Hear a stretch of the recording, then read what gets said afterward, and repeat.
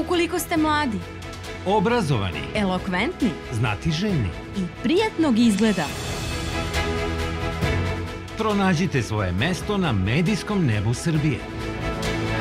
pošaljite kratku biografiju sa fotografijom na naš mail. Postanite Novo lice Happy Televizije.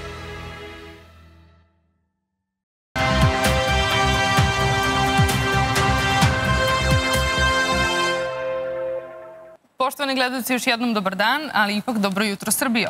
E, nastavljamo jutarnji program. U narednim minutima naš gost je gospodin Slobodan Brkić, poliglota, e, a govorimo o pravoslavlju. Možda, vam, možda ste se sada zapitali niđe veze između e, kako poliglota i pravoslavlja, ali ostanite uz naš program i u narednim minutima kako biste shvatili da ove dve komponente i tekako mogu biti usko povezane samo ukoliko su naravno vaše ambicije usmerene u pravom smeru. Slobodane, dobro jutro i dobrodošao.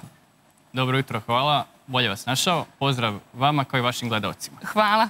E, Ja sam obećala da neću mnogo ja da tupim o predstavljanju e, tebe samog. Već si bio naš gost, bio si gost mnogih televizija i s tim u vezi naši gledalci su i tekako upoznati sa tvojim likom i delom. Ja bih voljela da nam ispričaš nešto što se umeđu vremenu dogodilo u tvom životu, nešto što smatraš ličnim uspesima, a svakako smo zaključili da si pre svega veliki humanista i da svakog dana činiš možda mali korak za čoveka, ali veliki za čovečanstvo. Je li to stvarno tako ili ja preuveličavam stvari? Mislim da je vreme najbolji sudija, tako da će vreme pokazati. A, smatram da ja o sebi ne bi trebao da, da dajem neki sud, a još gore da sam sebe hvalim. Tako da sve to što radim i što sam radio do sad, trudim se da služim čovečanstvu, normalno da služim svoje zemlji i da služim pravoslavlju i gospodu Isusu Hristu. A što se tiče malog koraka ili velikih koraka, opet kažem, vreme će pokazati. Ja se trudim da, što, je ono, što bi ono rekao u filmu Sećaš se Dolly Bell, a, svakoga dana u svakom pogledu sve više napredujem. A, zašto, zašto to? Zato što mi ne znamo šta će biti sutra, a juče ne možemo da vratimo. Tako da jedino ono što imamo je ono što je danas. I ako nešto učinimo za druge i ako druge učinimo srećnima, onda ćemo i mi biti srećni ili barem tako bi trebalo da bude. Ja sam recimo srećan kad drugim ljudima pomognem u nečemu, kad druge ljude na, bilo koji način usrećim i to su, ako su to njihovi uspesi, onda su i moji. Ali u, e, u istom mahu, e, barem bi tako kao što kažeš trebalo da bude, svojim akcijama bi trebalo da uveseljavaš i ceo srpski rod. Tako je. E, sve ovo što si sada meni rekao, ti možeš da kažeš na deset svetskih jezika. Što je svakako e, velika stvar, jer kažemo čovek vredi onoliko koliko jezika zna. Baviš se i e, pružanjem privatnih časova jezika, to smo već čuli da zaista nekako imaš ču- čudne, e, neuobičajene u stvari starostne grupe ljudima kojima predaješ. Kako komuniciraš sa njima? Kako su oni u stvari zadovoljni tvojim načinom predavanja? Ne mislim u smislu znanja, već u, zaista u tom smislu e, da e, ti umeš da svoje znanje preneseš na njih onako kako oni to najbolje mogu da shvate i razumeju. Naravno. Pre svega, ja se uvek trudim da se prema ljudima postavim kao čovek. Jer sve to, i predavač, i profesor, i e, programer, i informatičar, i kompozitor, sve te titule koje mi određeni činioci u društvu daju, to je sve divno, ali mislim da čovek pre svega treba da ostane. Mi svi postajemo ljudi rađanjem, jel te? Ali da li ćemo ostati ljudi, to je već pitanje. Tako da smatram da svaki čovjek treba i da ostane čovjek i da se prema drugom ljudskom biću ophodi kao ljudsko biće, to jest kao čovjek. Tako da to je ono što moje, neko bi rekao učenike, neko bi rekao studente, ja kažem ljude s kojima sarađujem, jer i oni mene nečemu nauče, ne samo ja njih. Ja njih možda učim jezicima ili em, programiranju ili možda e, časovima klavira i tako dalje, ali oni mene uče nekim drugim stvarima. Tako da a, razmena znanja, razmena informacija i iskustava, to je nešto što čini moj život lepšim, a naravno i, i živote drugih oko mene. A što se tiče tih starosnih grupa, ima tu raznih grupa ljudi, ali neki od njih, pošto ima dosta Japanaca, sad sam skoro imao jednu gošću iz Japana, koja ima trenutno 95 godina, uskoro će 96. I njoj sam izigravao turističkog vodiča po Beogradu. Obišli smo sve žive moguće muzeje. Pa ni to nije bilo dovoljno. Znači, gospođa ima energije više nego svi mi zajedno. Svaka čast. A, stigli smo čak i na, na Frušku goru. U, to je bilo pokloničko putovanje u organizaciji crkve Aleksandra Nevskog. I svi su bili oduševljeni, pa smo na kraju došli i do Avale. I to i nije bilo dovoljno i onda je Htjela još? legendarnog 15. juna rekla ja bih da posetim srpsku verziju planine Fuji. Rekao, a to je, kaže, rtanj. Rekao, ja, moja fizička kondicija Pa od, od um, vozila do zgrade i od zgrade do vozila i obrnuto. A Rekao, ajde sad. Ne, može, ne, mo- ne možemo da se obrukamo. da. I što je najgo, da stvar bude gora, tad je bio užasan dan e, i na Rtnju i, i, svuda. To je bio četvrtak, 15. jun. I desilo se da smo mi uspeli da se popnemo do vrha. Znači, moj jedan veliki prijatelj Nikola, gospođa iz Japana i moja malenkost. I to je bila takva kiša, pljuskovi. E, voda nam je bila bukvalno do kolena. To je bilo blato, potoci su tekli stazama, ali odustajanja nije bilo. Popeli smo se do vrha i uspeli smo se vratimo. To je nekad bude to je četiri i po sata penjanja, tako reći, i isto toliko spuštanja. Isto toliko spuštanja, razumem. Tako da ne postoji nemoguće je samo u našoj glavi. Ako smatramo da je nemoguće, onda će biti nemoguće. A ako ne smatramo i ako, ako se čovjek bori za svoj i normalno uspeh ljudi oko sebe, granica je nebo. Tako da bila je prezadovoljna i preći će u pravoslavlje, ako Bog da. Na obostrano zadovoljstvo, pretpostavljam. Na obostrano E, zadovoljstvo. naravno. Kako se kao, kao hrišćanin osjećaš e, ovih dana kada e, je zaista primetno orkestriran napad upravo na, na pravoslavlje, na hrišćanstvo? Na različite načine različite, različiti narodi i različite struje pokušavaju da se obračunaju sa pravoslavljem, a samim tim i sa nama kao, kao hrišćanima. E, na koji način, e, da li, pitaš upravo te ljude s kojima razgovaraš iz raznih krajeva sveta, e, šta oni znaju o Srbiji?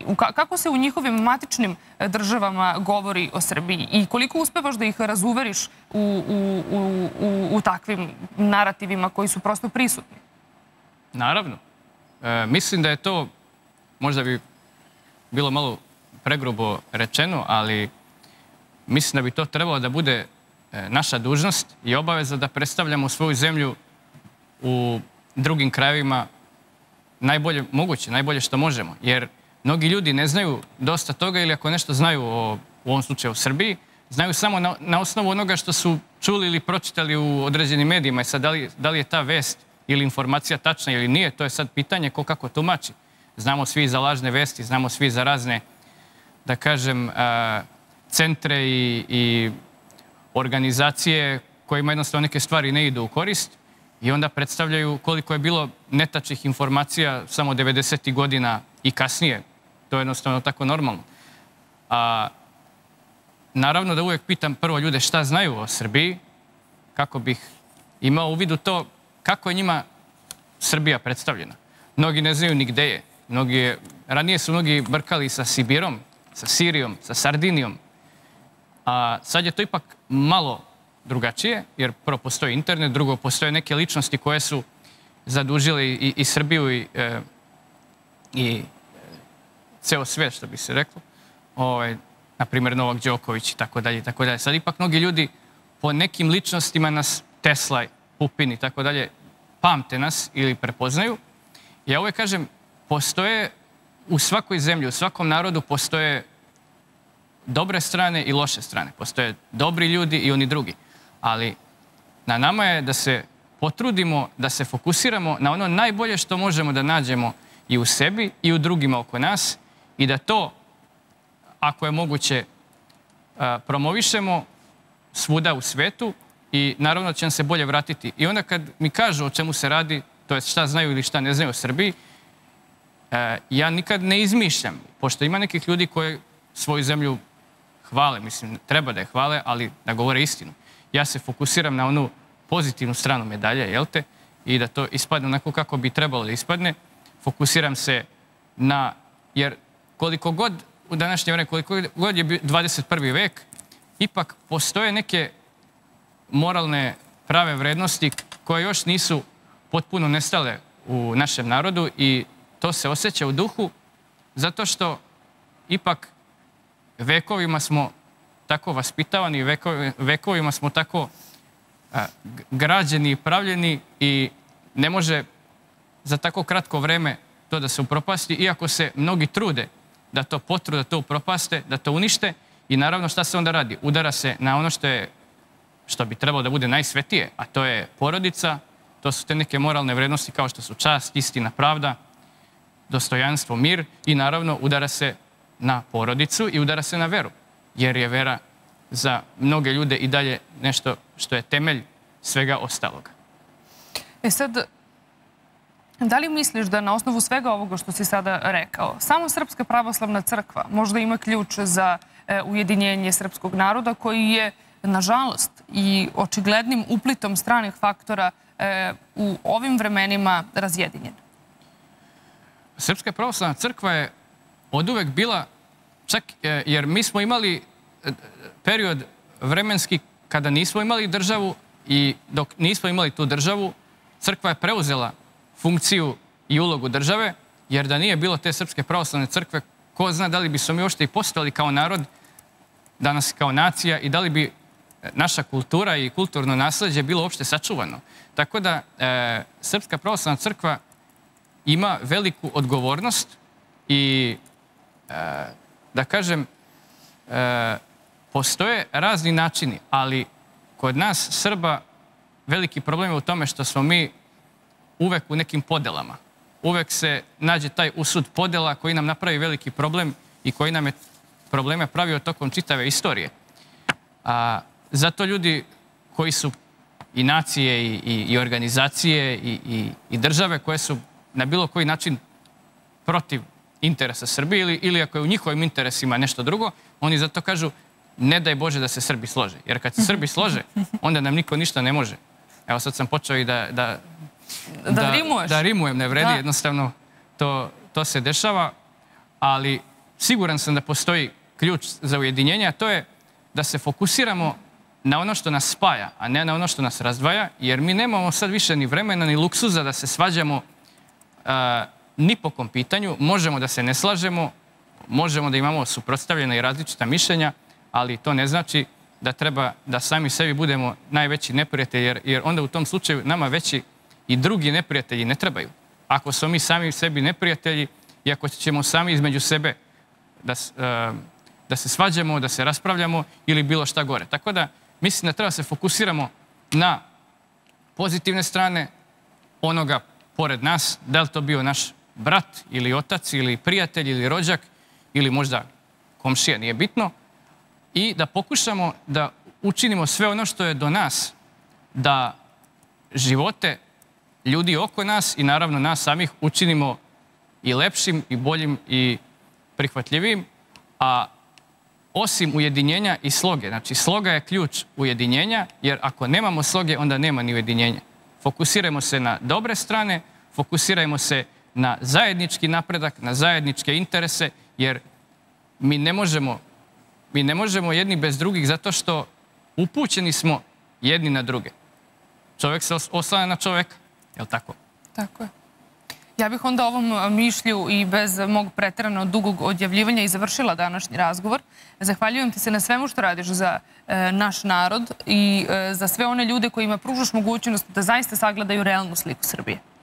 Hvala vama, drago mi je što ste me pozvali. I vidimo se uskoro. Vidimo se uskoro ako Bog da. Tako je, naravno, daće Bog.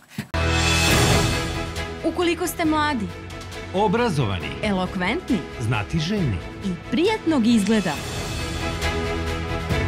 Pronađite svoje mesto na medijskom nebu Srbije. pošaljite kratku biografiju sa fotografijom na naš mail. Postanite Novo lice Happy Televizije.